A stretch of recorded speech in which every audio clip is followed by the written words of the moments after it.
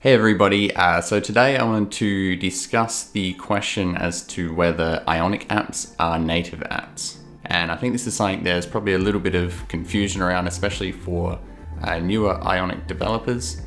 Uh, depending on who you ask, you'll probably get two different answers or, or more than that. And uh, I think that there isn't really a definitive answer to that question. Uh, I think it really depends a lot on what your definition of a native app is and also the context in, you know, in which you're talking about it.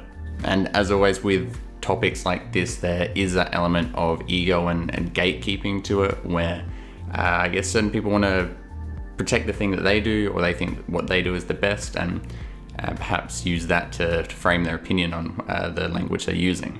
Uh, so what I want to do in this video is just to first give a sort of high level overview of what what an Ionic app is and how it differs to a regular native app. And then at the end of this video, I'll give my opinion on the terminology that I like to use. Uh, but yeah, I just want to leave you with kind of the facts of the matter and then you can kind of decide for yourself, I guess. Uh, so I'll be focusing just on iOS and Android, so Ionic applications that have been built with either Cordova or Capacitor to get uh, an iOS or Android app. Uh, of course, Ionic can be used to build other things as well, uh, like progressive web apps or even Electron apps, those sorts of things. But for now, I will just focus on Ionic apps built with Cordova or Capacitor for Android or iOS. Okay, so let's start talking about uh, what makes an Ionic app the, the same or similar to a native app and what makes them different. And so when we're talking about the actual software that is installed onto the user's device, uh, there's really no difference between a native app, a regular native app, and an Ionic application. Uh, if we're installing it on iOS, we'll have an IPA package. On Android, you have the APK file. Uh, this is just, in both cases, it's just a normal native application that's being installed. And both of these applications have full access to you know, all of the normal native functionality that you would. Where the difference starts to come in is in the way that the user interface is displayed to the user. Now, in a regular native application, so that's uh, an application that is uh, coded in, say, uh, Swift or Objective C for iOS, or uh, Java or Kotlin for Android, those kinds of applications use the standard native uh, controls, the standard native UI elements for their application. Uh, whereas an Ionic application actually uses an embedded browser to display the user interface.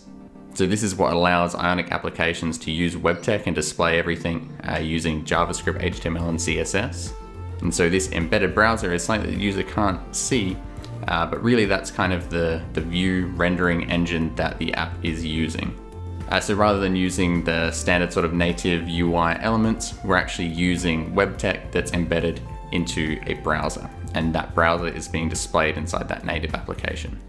Now, in most cases to the end user, these two things look the same, but the method in which it's uh, achieved is quite different.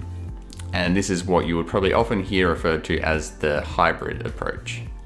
Now, because of that difference, many people would say that since uh, Ionic applications uh, using Cordova or Capacitor, uh, since they're not using the native UI elements, uh, they would say that that is no longer a native application.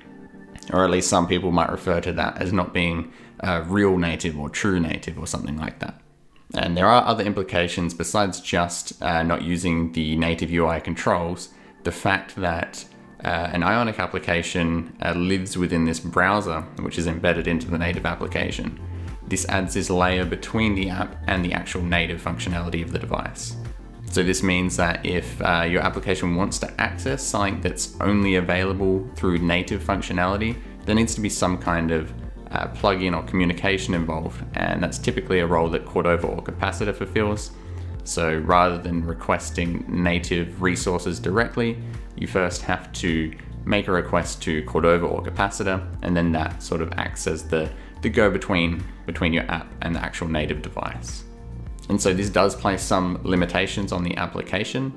Essentially, you're using the embedded browser as the the, the engine that's running your application. Now that's providing the processing power for your application, as opposed to uh, standard native apps where you are using the full resources of the phone. Now, sometimes this does matter and sometimes it doesn't. And so there is, I guess, uh, at least, again, I'm not trying to give my opinion here, but a bit of misconception in terms of um, performance And I guess you get a lot of people saying that you know, native apps are just inherently better than Ionic applications because they have more performance available. Uh, but that is not always the case. They do have this kind of higher performance cap, but a lot of the time, the power provided by the browser is more than enough to do what you need to do in the application. But again, I want to highlight that sometimes it's not, and sometimes going for a regular native app uh, is the correct choice. So uh, before I stray too much into getting into performance comparisons and giving my opinion, I'll, I guess I'll cut the, the facts segment uh, there. Um, and I guess now I'll give you my opinion on what I would call an Ionic application. And really, I think it, it really does depend on uh, the context for me. Uh, in a general sense, I would say that Ionic apps are native apps. Uh, they're installed onto a device and downloaded through the App Store like any other native app the actual software that is installed is a native app. You have full access to that native app, um, although your the view for your application is contained within the browser. If you want to, you still can code outside of that as well. So in a general context, I think it makes the most sense to refer to them as a native because when a lot of people are talking about uh, a native application, they're thinking of things that you're downloading from the Apple App Store or Google Play. Uh, but I also think it does make sense to distinguish uh, an Ionic app from a regular native app as well uh, in certain contexts. So, especially if we're talking about um, you know, what sort of approach we want to take to build an application when we're actually comparing things, when we're trying to decide on an approach to take, it makes sense to identify these things as two different things because they are.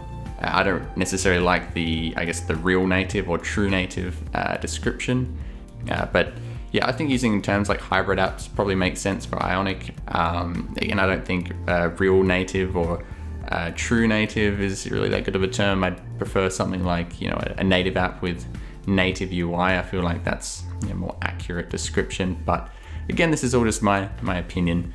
There's not really any rules around exactly how we refer to these things. So um, yeah, let's have a, a, discussion about it. I guess if you do have an opinion on uh, the terminology that you like to use or that you think should be used, um, leave a comment. And uh, yeah.